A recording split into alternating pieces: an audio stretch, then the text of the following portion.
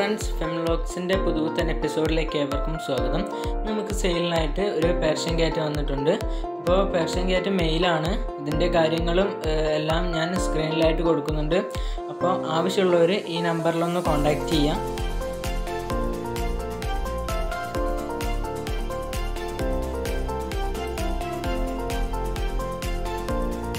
പിന്നെ ഇതുപോലെ പെറ്റ് സംബന്ധമായ വീഡിയോ ലഭിക്കാനായി മറക്കാതെ ചാനൽ സബ്സ്ക്രൈബ് ചെയ്യാം. എന്നാൽ നമുക്ക് വീഡിയോയിലേക്ക് കിടക്കാം.